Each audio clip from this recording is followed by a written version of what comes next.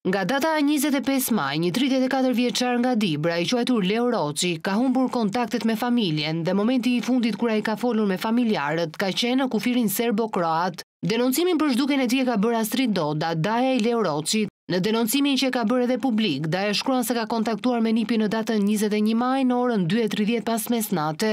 Dhe Leo i ka thënë se ndodhej në doganë, në kufirin Serbi-Kroaci me qëllim që të shkonte në Angli për të punuar. Nga kjo orë telefoni ka qenë i hapur, zilja binte dhe mesazhet shkonin, por nuk përgjigjej njeri.